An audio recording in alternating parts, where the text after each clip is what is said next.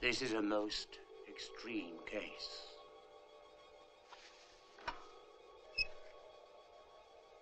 But everything is going to be successful. A cure will prevail. A solution will be found. Concentrate on the flame.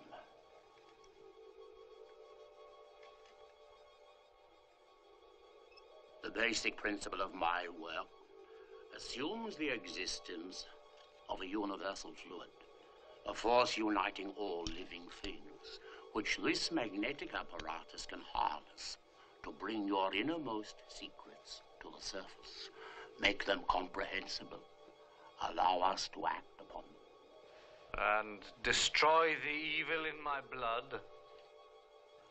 If you wish to look at it like that.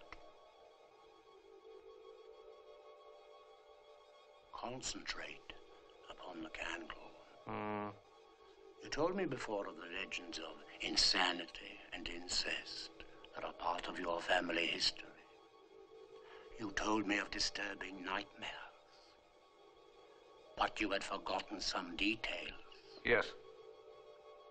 You felt yourself becoming like An animal prowling in the night. The stars above me, a pale moon smiling, urging me on. the moon affects tides and oceans. It affects the universal fluid. It affects us all in some way. But not like these nightmares. A bloodlust coursed through me.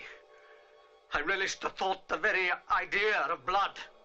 Like my ancestors before me, I saw myself an evil demon of the forest, lusting to kill. And that I would die a ritual death as they did. But still my desires were violent, obscene. Go on. Shapes.